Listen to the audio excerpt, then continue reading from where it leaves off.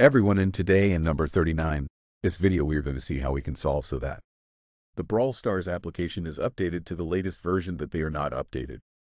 How do you solve it or in a different way? First of all, we enter the App Store and look for the name of the application once we search for it.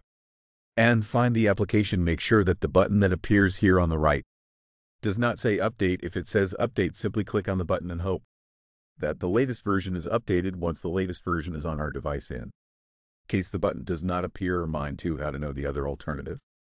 Is not cool hunter iPhone and we go to another part of general then we go to birth the iPhone. What is this option you well here we are going.